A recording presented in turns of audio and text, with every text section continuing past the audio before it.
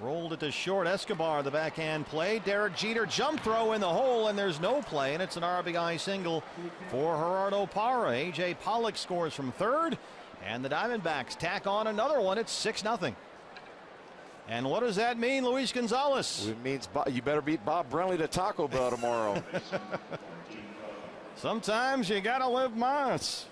so a two-hit night for Gerardo Parra here to close out a tough July for for G. Well, it's good placement by Parra right there, hitting it just exactly in the hole with his speed. There was no way Escobar was going to make that play. And you saw that little hip turn that I was talking about. It's kind of a shimmy.